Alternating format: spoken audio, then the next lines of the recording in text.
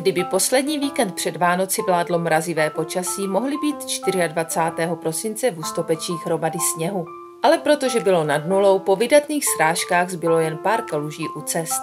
Na štědrý den se ale naštěstí vyčasilo a tak na tradiční vycházku s koňmi dorazili desítky dětí s rodiči nebo babičkami a dědečky.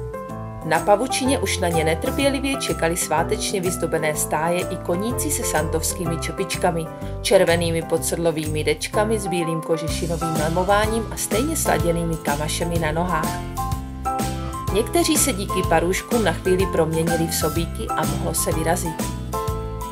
Zkušené chovatelky malým jezdcům i jezdkyním vybírali toho pravého koně a starali se o to, aby se každý svezl aspoň kousek. Mnozí si užívali jedinečný pohled na svět z koňského sedla ve sváteční den poprvé.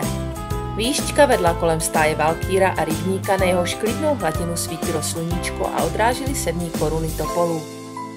Průvod dorazil až k ovčárně pana Vodáka a tam příchozí společně nazdobili vánoční stromeček pro zvířátka. Ve větvích jabluňky tak večer na srnky, zajíce i další živáčky čekali mrkvičky, jablíčka a suché pečivo. Pod stromkem mimohodní dárci připravili na dílku dalších dobrot. Potom už se všichni vydali na zpáteční cestu a zaslouženou várku křupavých odměn si doma ve svých stájích vychutnali i spolehliví koníci z pavučiny.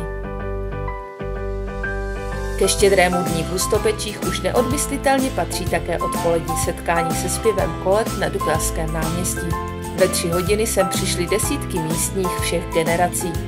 Příbuzní, přátelé nebo spolužáci se tu každoročně potkávají, aby se pozdravili a popřáli si k Vánocům.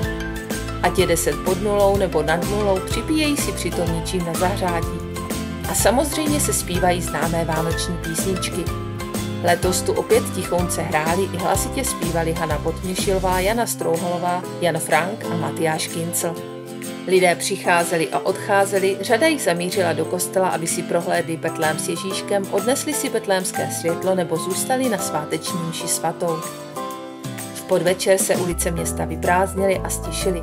Jen za okny bylo sem tam k zahlédnutí tajemné blikání prskavek.